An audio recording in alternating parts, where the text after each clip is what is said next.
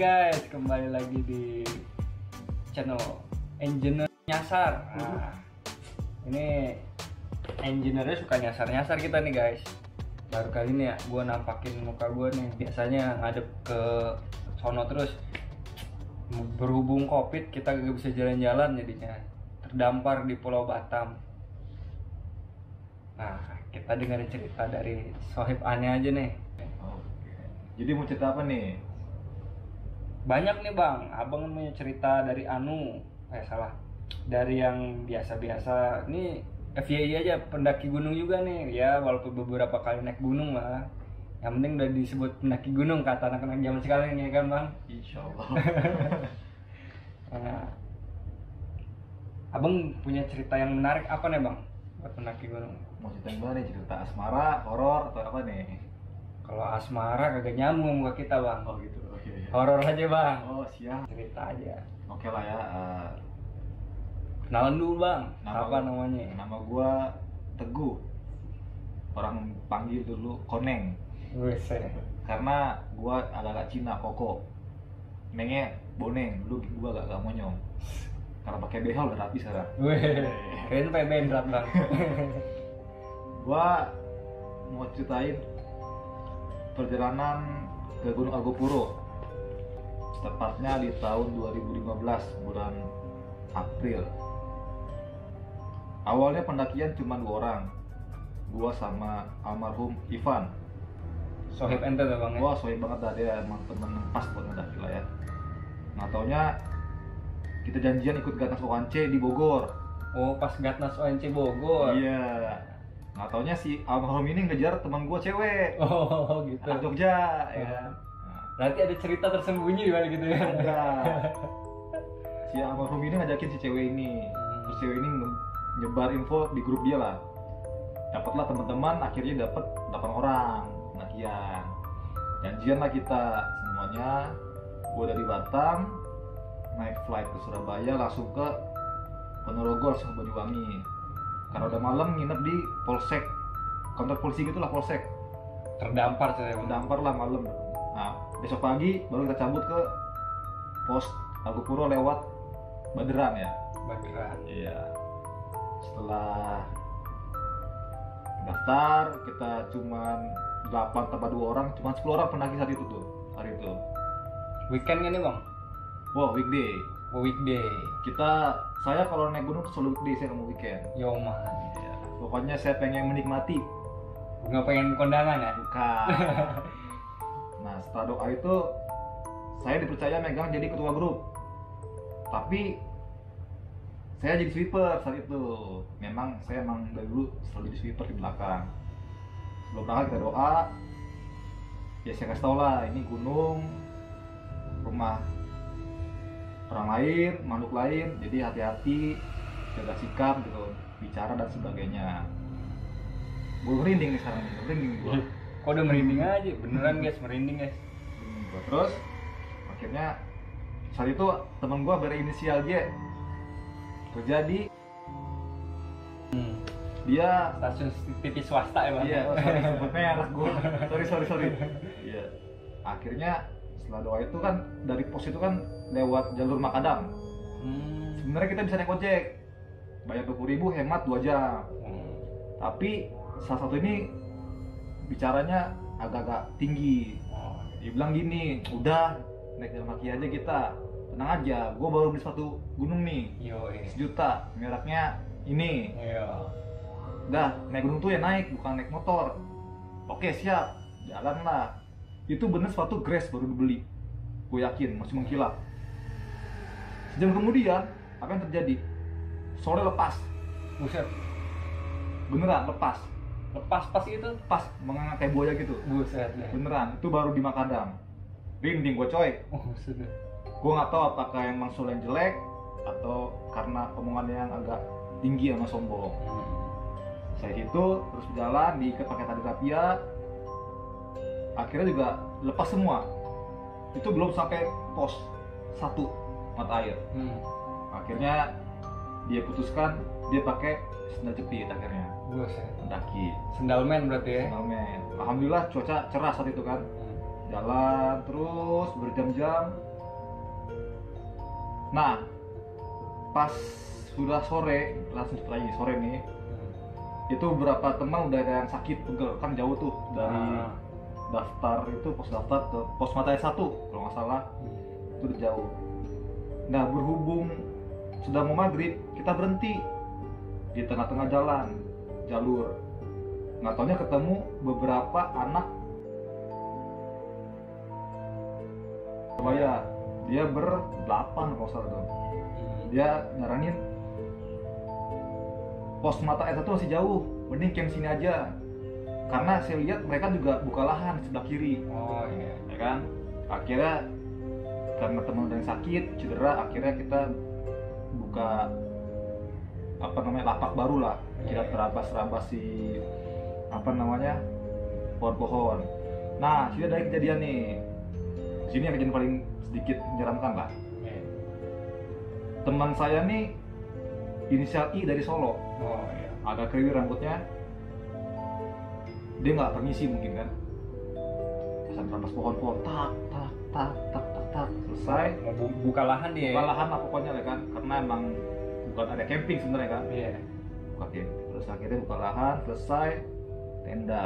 Jadi situ ada empat tenda. Tenda gua sendiri gua cuma tidur sendiri bersama tas-tas teman-teman Hmm.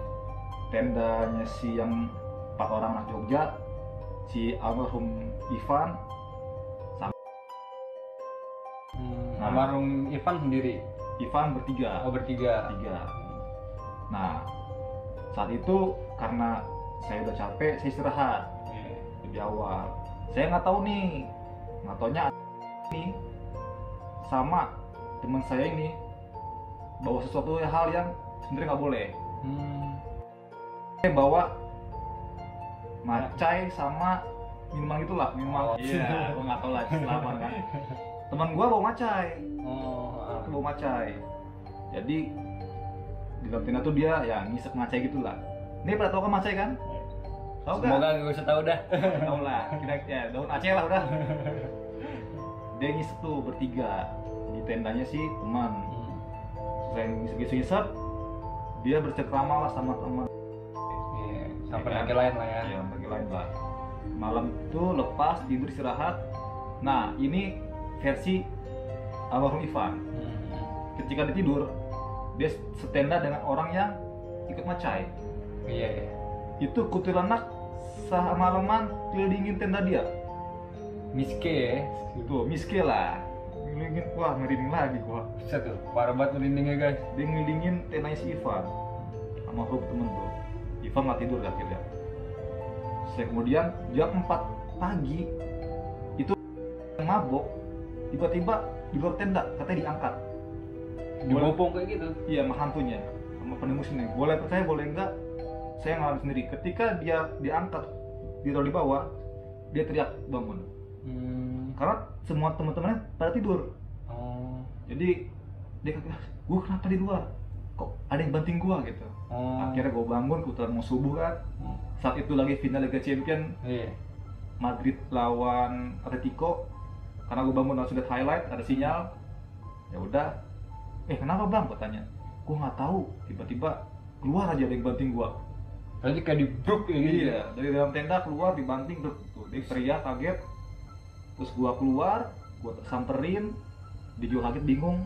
Ivan keluar juga almarhum tuh tanya juga. Dah. Akhirnya ada bingung bingung bingung, bingung. Dah. Tidur lagi. Pagi beranjak nggak taunya dari tempat kita tenda itu cuma 2 menit ke pos hotel satu. Buset. Padahal dikit lagi sampai 2 menit doang. Tipu kali dia gua nggak tahu dah pokoknya dah. pas kita packing jalan eh pos hotel satu udah sampai 2 menit doang. Hmm. Kayak itu jauh banget kayaknya perjalanan kan semalam tuan. Udah lah. Terus berhenti biasalah istirahat. Ya makan siang. Terlanjut tuh pos motor 2 lewat terus lewat sahabat lonceng yang kecil-kecil tuh kan. Iya. Sampailah di Cikasur tempat camp kita hari kedua. Tempat favorit itu ya, favorit lah kalau lah. Nah Cikasur. Cikasur ini orang tau lah. Hmm. ada pohon besar ada bekas pos yang rubuh Hmm. ada selada air ya kan? Tapi gue nggak cerita itu saat ini.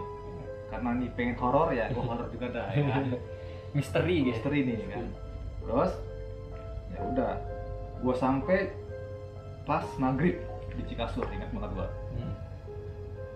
akhirnya kita barengan tuh sama dia terpisah campingnya Hmm. kita lagi akhirnya dia bersama teman-teman yang baru juga kayak Hmm. terus akhirnya kita camping di dekat pas yang pohon besar Hmm. pokoknya orang kalau ke Cikasur tahu pohon itu pasti Hmm. pohon yang gitu sana nggak ada kejadian apa apa masih normal tapi malamnya ya biasalah orang-orang iseng kan. Main te apa center head headline kayak gitu kan. Udah main main ke pohon-pohon. Main cahaya gitu. main cahaya lah. Tahu orang ketawa-tawa Hmm. main cahaya pohon-pohon. Terus feeling kita nih feeling tim saya bilang gini pasti ada sesuatu nanti pasti ada yang tunjukin apa apa. Bener. Langsung kan? Langsung ditunjukin langsung yang ketawa langsung diem nangis semua. Ini lagi coy? Gua nggak apa gua nggak tahu apa yang dilihat tapi gue juga merinding gue tadi tapi yang pasti itu pasti ada hal sesuatu yang mistis lah kalau gua bilang. Tapi di Cikasur alhamdulillah tim saya nggak ada masalah nggak diganggu. Tapi kalau kata si almarhum temen ini si Miski itu ngikutin. Hmm, berarti masih penasaran ya ini penasaran. berulang lagi nggak ya Masalah kan? ini ya kan? Cuman alhamdulillah nggak ada malam kedua aman. Terus besoknya pagi kita cari sunrise di savananya si Cikasur Hmm. Peki langsung cabut ke nextnya itu ke Cisentor. Sentor ya? Cisentor ya kan? Terus akhirnya Cisentor nah ini cuman camp sampai Cikasur doang ternyata. Oh habis itu balik? Balik dia jadi bagian bagian lagi. Dia nggak terus sampai Bremi Hmm. kita terus sampai Cisentor. Jadi pendaki itu tinggal 10 orang aja lagi sampai Cisentor kan itu ada dua area kalau nggak salah ya. Hmm. turun sungai naik kayak jurang gitu iya. naik lagi ada lagi eh, lahan buat camping. Tapi tim pengen camping di pas ada gazebo shelter. Oh. Shelter. Karena sepi ya kan? Sepi terus tiba-tiba ada pendaki lagi datang dua dua empat orang masalahnya dibuka dua tenda jadi area tenda saya udah gak dapet. Oh gitu akhirnya saya permisi nih. Ini sebenarnya nggak boleh. Ini buat para para pendaki semua lah ya. Hmm. jangan buat tenda di dalam shelter. Iya iya. Ini saya salah saya akuin. Hmm. jadi saya pikir ah, karena sepi nggak apa-apa lah ya kan. Awal niatnya karena bukan hari libur juga iya kan? pasti. Nggak ada orang lah ya kan. Sepi jadi oke lah. Oke akhirnya temen bilang udah lu buat tenda aja di shelter nggak apa-apa kok nggak ada orang ini. Hmm. kan ini big day. Oke saya izin. Ya maaf ya eh, buka tenda di sini semalam. Hmm. akhirnya saya buka tenda sana. Nah di sini saya langsung ngalamin langsung. Kejadian benar-benar kejadian. Jam